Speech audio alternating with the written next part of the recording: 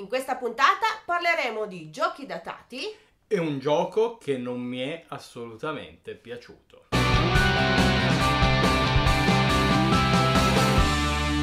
Ciao a tutti, giocatori Giocatrici e semplici curiosi. Noi siamo i Giullari, vi diamo il bentornato nella nostra mansarda per un nuovo gameplay, che è online anche grazie al supporto di tutti coloro che ci seguono su Patreon. Se anche voi volete darci una mano a continuare a crescere, potete cliccare qua in alto tra le schede oppure nel primo link che trovate sotto in descrizione. Raggiungerete così la nostra pagina e scoprirete quali sono tutti i contenuti esclusivi a cui potreste avere accesso. E ne approfittiamo per salutare e ringraziare il nostro nuovo giullare d'oro, Christian. Questa settimana i titoli diversi a cui abbiamo giocato sono stati 9, ma di Trismegistus, Cacao, Kaleidos e Claim ve ne abbiamo già parlato. Quindi partiamo subito col primo titolo giocato nella settimana che per noi è appena trascorso, ma in realtà è già passato di più per voi che lo state vedendo in questo momento, ma chi se ne frega, è stato Welcome to con l'espansione dedicata ad Halloween. Questa espansione è assieme all'espansione Luci Natalizie di cui già avevamo parlato, ma di questa di Halloween ancora non l'avevamo affrontata e visto il periodo così eh, di Halloween, non è vero, ma avevamo voglia di giocare a Welcome to e abbiamo detto vabbè proviamo anche questa nuova Certo. espansione, così le abbiamo provate tutte non quelle è che, che giochi un gioco in base alla stagione o alla festività. Come no? In Welcome to Halloween si giocherà sempre seguendo le normali regole del gioco, quindi rivelando carte da tre mazzetti differenti.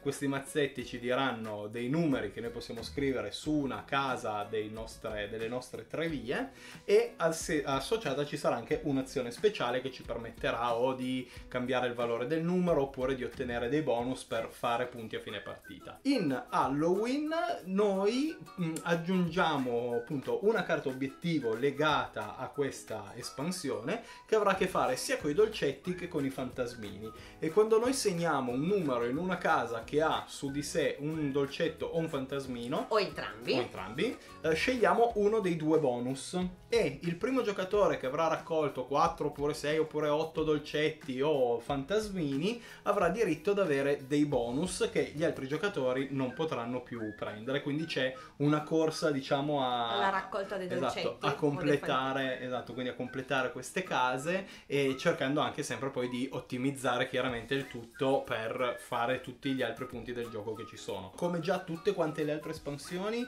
eh, questa abbiamo notato che anche in due giocatori comunque Sì. funziona bene, probabilmente si se integra, si interseca bene con il gioco base. probabilmente in più giocatori la corsa ai dolcetti e fantasmini forse la, la senti ancora di più, Ah, però sì. anche in due comunque ha funzionato, Sì, anche in due ha funzionato sì, proprio bene e molto bella perché comunque appunto come diceva si integra bene, non, non stravolge il gioco, aggiunge una, due regolettine in più che però sono molto molto semplici da, Sì. da introdurre e quindi se come noi avete fatto tantissime partite voi con tu, tutte le espansioni finora le abbiamo sempre trovate piacevoli proprio Sì. perché aggiungono qualcosina senza farlo diventare troppo e senza stravolgere il gioco. Esatto. Che il suo punto di forza è proprio la semplicità, l'immediatezza e le espansioni non lo appesantiscono e quindi anche questa Halloween eh, molto molto piaciuta. Sì, unico appunto a Welcome to, ma per un difetto di carta, non per del gioco, è che con le matite da disegno normali non, non si riesce a vedere niente Mm. di quello che scrivi.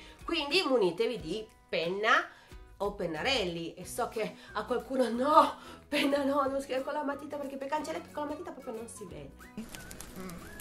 No, niente. Abbiamo poi giocato a Yeti, titolo di qualche anno fa portato in Italia da DV Giochi, eh, gioco che in realtà si propone come gioco per bambini e famiglie, eh, che però a noi piace tantissimo, ma proprio un sacco. L'avevamo provato per la prima volta in qualche fiera, forse al Torino Comics, eh, c'era piaciuto un casino, infatti l'abbiamo recuperato, l'abbiamo tenuto in collezione e lo giochiamo sempre molto molto Sì. volentieri. Ah, In Yeti già visivamente bellissimo perché al centro del tabellone c'è questa montagna che eh, gli scalatori devono scalare, perché noi Yeti dobbiamo riuscire a raggiungere lo Yeti per riuscire a fotografarlo. La meccanica è una mini mini gestione dadi, come nello Yazzi o comunque come in molti altri giochi, si lanciano dei dadi, se ne possono tenere da parte, si possono rilanciare gli altri fino a tre volte. A ogni lancio di dado noi saremo obbligati a tenere da parte almeno tutti i dadi di una tipologia e se escono i dadi con la neve, allora quelli siamo obbligati a tenerli da parte. Come diceva Vale, dobbiamo cercare di fare punti, punti che saranno più alti se riusciamo a scalare la montagna grazie agli Sherpa, però poi alla fine di ogni round dobbiamo tornare al campo base che possiamo lasciarlo già in cima alla montagna se abbiamo lanciato delle tende, possiamo acquistare dei potenziamenti per il nostro equipaggiamento oppure spendere i soldi anche convertirli in punti che sono le foto, che riusciamo, a, foto. che riusciamo, a, scattare allo Yeti e ogni volta che noi faremo punti che sono i passi il, la nostra pedina va avanza sul percorso cercando appunto di raggiungere lo Yeti che è una pedina più avanti sul percorso rispetto a noi. Benvenuti sull'Himalaya! È molto molto semplice perché il suo target è quello, c'è un gioco per famiglie e bambini, e però è divertente, funziona bene ed è, ed è stato cioè, è sempre piacevole, piacevole farci una partita. Sì. Boh, ci piace, basta, boh, stacce. E al limone. Abbiamo poi giocato a Jumanji, mio marito mi ha fatto questo regalo di compleanno. E quindi il giorno del mio compleanno abbiamo finalmente tolto la polvere, si dice così come fanno nel film, che tolgono la polvere. dal, dalla scatola di Jumanji e lo abbiamo provato.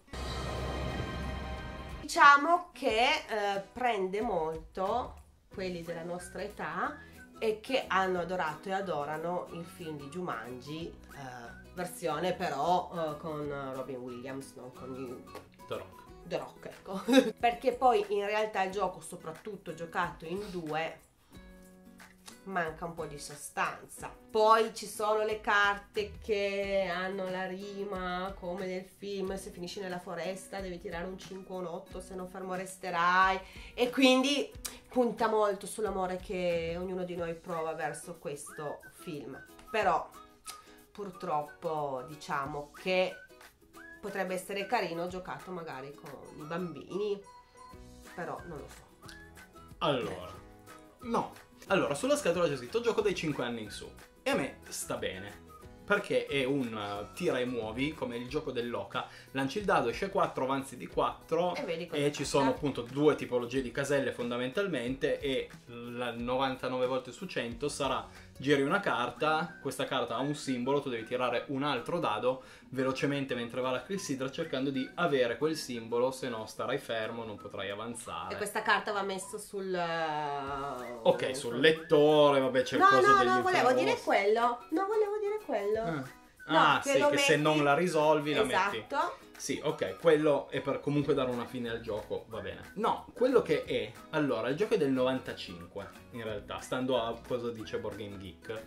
Del 95, io avevo 10 anni, mi sarei divertito giocando sto gioco. Uh, il fatto è che però poi sia stato rieditato adesso, ristampato, rimesso sul mercato un paio d'anni fa. Uh, chi lo guarda adesso, non più chi ha 5-10 anni che non sa cosa sia Jumanji, ok? Lo guarda che appunto chi all'epoca aveva 10 anni e adesso però ce n'ha 35 e io di 35 anni prendere questo prodotto solo perché mi ricorda Jumanji, il film bello che avevo visto al cinema con mamma e papà, eh, poi però il gioco dentro non c'è per una persona che ha 30 anni e per la persona che ha 7-8 anni oggi il fatto che quello sia Jumanji non vuol dire assolutamente nulla. Non ce la faccio, troppi ricordi. Ci siamo poi sfidati a I buoni e i cattivi fantasmi, titolo lunghissimo. Un gioco per due giocatori dove ci sono appunto i fantasmi ognuno, ognuno deve cercare di mangiare quattro fantasmi blu dell'altro giocatore cercando di non mangiare però i quattro fantasmi rossi. Perché? Perché Alberto vedrà solo la faccia dei miei fantasmi e non vedrà il colore che hanno dietro, idem io. E in più, per vincere, si deve anche o si può anche, oltre a mangiare quattro fantasmini dell'avversario, riuscire a uscire dal, dal, dal tabellone. È un gioco di parecchio tempo fa di Alex Randolph eh, e come tutti i suoi giochi è un gioco molto semplice nelle meccaniche, no? ha, ha pochissimi elementi, però è strepitoso, è veramente ben pensato. Hai questa scacchiera, tu vedi i tuoi fantasmini, 4 hanno un pallino blu nella schiena, 4 un pallino rosso, non sai che cosa c'è nella schiena degli altri. Tu sai solo che dovrai o cercare di uscire con un tuo blu, o cercare di mangiare 4 blu dell'altro, o tu vinci anche se l'altro ti mangia i tuoi 4 rossi. E quindi ci sono molte situazioni in cui tu magari piazzi il tuo fantasmino davanti a un fantasmino dell'altro, non proprio da serie, boh, se vuoi mangialo. No? Però è rosso, però è blu, però boh, non e ci lo si so. può muovere solo in Or- avanti, ortogonalmente, in lato sì. o indietro. Esatto. Alle prime mosse, boh, ogni tanto mangi qualcosa, ah sì è blu, ah anche questo è blu, poi magari ne mangi tre rossi di Mm, fila e dici blu. oh mio dio, adesso cosa faccio? Mangio? Non mangio? Ma se non mangio ed è blu, quello tra un po' riesce ad uscire, cosa faccio? Ed è molto bella questa... Sì. quest- boh, questa difficoltà di, di capire l'altro, devi saper bluffare un po' e cercare di capire un po' l'altro se sta cercando di proteggere un suo blu oppure se lo sta mandando allo sbaraglio oppure se sta cercando di fregarti facendoti mangiare un suo rosso. Le partite sono velocissime ma ne fai veramente un sacco. Anche perché poi fila. fantasmi all'inizio ognuno se li posiziona, in- cioè non c'è una posizione stabilita in cui mettere fantasmi, Vabbè. te li metti come vuoi. Se no saprai dove sono e il gioco non, non ci sarebbe. Se tipo io so che davanti c'hai i blu e dietro Ma c'hai sì, i rossi. non è che dici che ne so, li metti, devi metterli così alternati o fare. Cioè, Eh, nel perché senso, se no io saprei i tuoi voglio. dove sono. C'è anche che... Per dire che è molto variabile, perché mettendoli appunto dove vuoi, perché se no l'altro scopre dove li metti, la variabilità è altissima.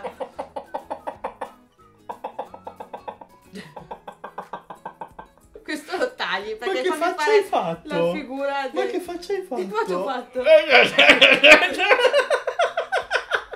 Questo lo tagli perché lo metti in ridicolo. Smettila. Abbiamo poi concluso la nostra settimana ludica con Clans. Anche questo è un gioco di maggioranze astrattissimo in realtà di Leo Colovini, che anche questo ha già una ventina d'anni sulle spalle, 18 anni sulle spalle, ma che a me piace un sacco. Titolo che si trovava a un certo punto super scontato, avevamo pagato tipo 5 euro, ma è un gioiellino veramente. Non sappiamo se si trova ancora oppure se quegli sconti folli a cui l'avevamo preso noi qualche anno fa era perché lo stavano, si stavano svuotando i Ma magazzini. perché se è un astratto ci piace? Perché questo qua in realtà, come dicevo prima, è un gioco di maggioranze, Sì. dove però è- c'è anche qua una componente di bluff e deduzione, in quanto noi siamo un colore di capannine, ci saranno sempre 5 capannine, capannine in 5 colori sul tabellone, ogni giocatore sarà uno di questi colori, però gli altri giocatori non sanno se io sono il blu, il nero, il verde, il rosso il giallo. Noi al nostro turno abbiamo solo un movimento da fare, in cui prendiamo una o più capannine da una regione e le spostiamo verso una regione adiacente. Le capannine non potranno mai più tornare in regioni che in questo modo sono rimaste vuote e nel momento in cui una regione è completamente isolata si fanno i punti. E tutti i colori di capannine che sono all'interno di quella regione fanno punti pari a quante capannine ci sono, poi ci sono un altro paio di Quindi regolette su che se il territorio più un determinato se è bosco ti dà più punti, se invece sei in un territorio, come si dice, Ostile. ostile, invece te li toglie, quindi c'è anche da valutare quello. Allora, io sono partito dicendo che ero il nero, ho detto io inizio a far, far fare subito un sacco di punti al nero, così Vale penserà che io stia bluffando e io non sia il nero, quando in realtà io invece sono proprio il nero. Sei scaltro come una faina. Bravo. Ma Vale ha mangiato la foglia, ha capito che io ero proprio il nero e infatti il nero da lì in avanti ha faticato tantissimo. E io non avevo invece minimamente capito che lei fosse il blu, pensavo fosse il giallo, cercavo di ostacolare il giallo e il blu ha stravinto. E Eh, ma anche bravo. perché se all'inizio comunque fai tutti i punti con il nero in questo caso, poi le capannine nere a un certo punto finiscono, non si Sì, ritroveranno certo, perché sono già state punti. conteggiate. Sì, Eh. sì, sì, che- eh, bravo, ho sbagliato, ho giocato male, Vale ha avuto molta più strategia di me, bravissima. Quando io perdo non mi arrabbio. Finisce così la nostra settimana ludica. Vi ricordiamo che lunedì è uscito il gameplay di Cacao. Quindi se ci volete vedere, eh, come si dice, coltivare, vendere cacao, riguardate il gameplay. E mercoledì è uscito il gameplay di No Draw, video che potete recuperare cliccando qua in alto tra le schede se riusciremo a metterle, se ce ne ricorderemo. Vi ringraziamo quindi per essere stati con noi fino a questo momento e vi ricordiamo che se vi piace quello che facciamo qua su YouTube potete valutare l'idea di cliccare qua in alto tra le schede oppure nel primo link che trovate sotto in descrizione per raggiungere la nostra pagina Patreon dove scoprirete quali sono tutti i contenuti esclusivi a cui potreste avere accesso se sceglierete di supportarci. E per supportarci potete anche iscrivervi al canale, attivare la campanella, lasciarci un like, commentare e condividere questo video con tutti quanti i vostri amici. E mi raccomando, seguiteci anche su tutti gli altri nostri social, ovvero Facebook, Instagram, Twitch e il canale Telegram. Lasciate anche un commento per ringraziare il nostro fantastico regista Damiano, senza il quale niente di tutto questo sarebbe possibile. E infine vi ricordiamo che qui a casa Giullari Si, gioca per giocare, i giullari vi salutano e, che, il gioco sia con voi.